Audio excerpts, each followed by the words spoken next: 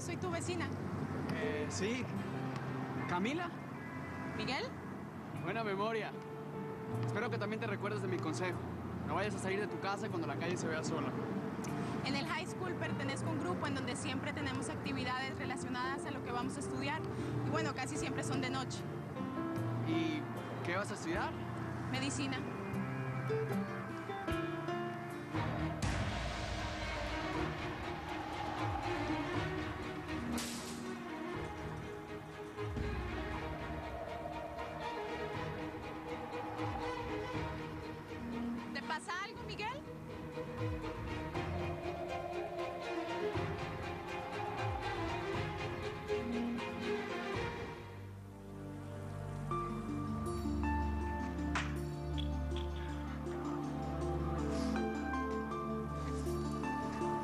Mariana, ¿por qué?